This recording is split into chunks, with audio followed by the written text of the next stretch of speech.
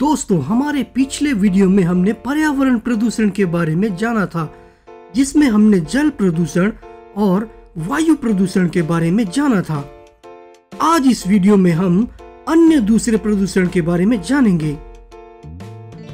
सबसे पहले प्रदूषण क्या होता है? प्रदूषण का अर्थ है हवा, पानी, मिट्टी आदि का अवांछित द्रव्यों से दूषित होना।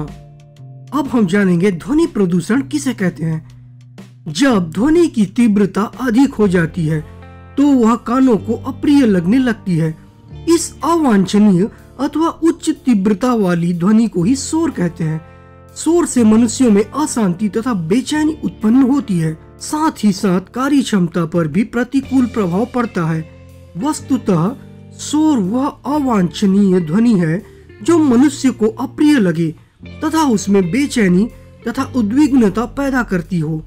पृथक पृथक व्यक्तियों में उद्विग्नता पैदा करने वाली ध्वनि की तीव्रता अलग अलग हो सकती है। ध्वनि प्रदूषण के क्या क्या कारण होते हैं?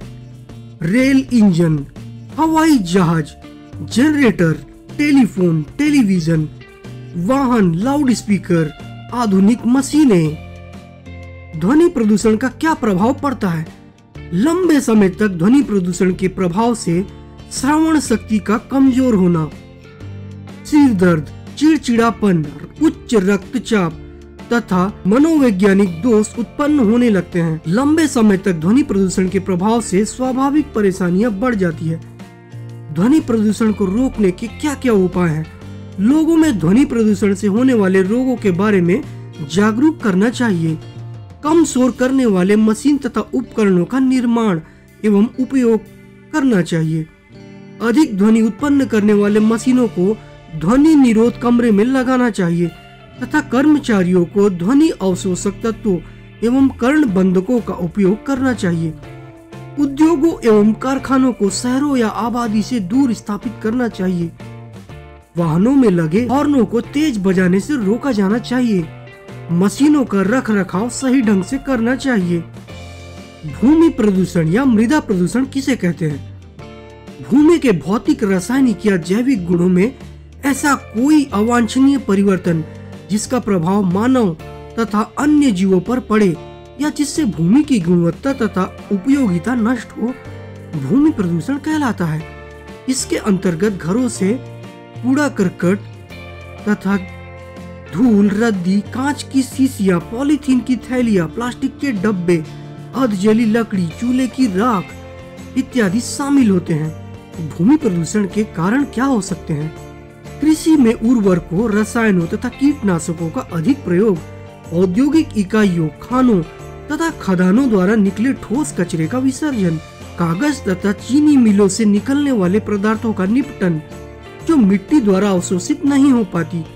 प्लास्टिक की थैलियों का अधिक उपयोग, जो ज़मीन में दब कर भी नहीं गलती।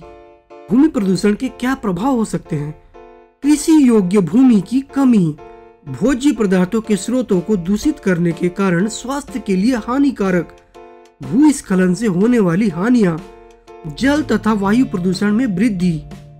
भूमि प्रदूषण को रोकने के उपाय, मृत प्राणियों, घर के कूड़ा करकट, गोबर आदि को दूर गड्ढे में डालकर ढक देना चाहिए।